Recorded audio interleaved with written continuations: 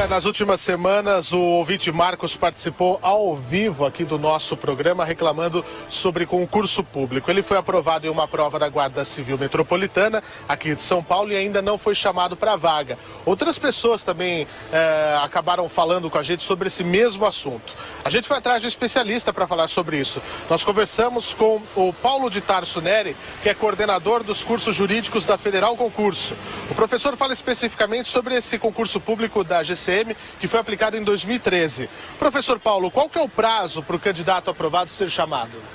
Olha, a Constituição, no artigo 37, inciso 3, estabelece o prazo máximo de cada concurso de validade de dois anos, passível de uma prorrogação. Este caso, o edital, exatamente utilizou o prazo máximo. Ele fala em dois anos com a possibilidade de prorrogação. A homologação do resultado se deu em 17 de março de 2014, portanto, os dois anos, 17 de março de 2016. Houve uma prorrogação, significa que esse concurso terá validade até dia 17 de março de 2018.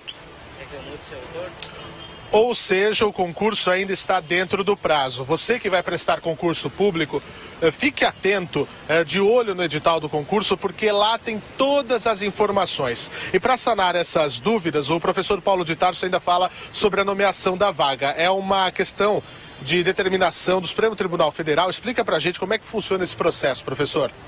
Se determinou o Supremo. Este prazo de validade do concurso público normalmente dois anos, passivo de prorrogação por mais dois anos, o candidato aprovado, dentro do número de vagas disponível no edital, tem direito subjetivo à nomeação. Ou seja, não pode haver um concurso sem que haja a nomeação daqueles aprovados dentro do número de vagas previsto.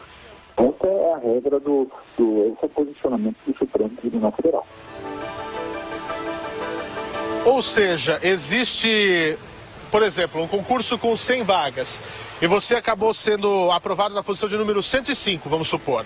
O concurso tem obrigação de dar as vagas para os 100 primeiros, que era aquilo que foi aberto. Aí você diz, puxa vida, por que, que eu devo considerar que eu fui aprovado então? A resposta é a seguinte: eles sempre chamam um número um pouco maior do que as vagas, porque caso alguém desista, o próximo da lista já acaba sendo nomeado. Igual uma lista de aprovação para entrar na faculdade, sabe, do vestibular, essa época que nós estamos passando agora. O sistema é o mesmo.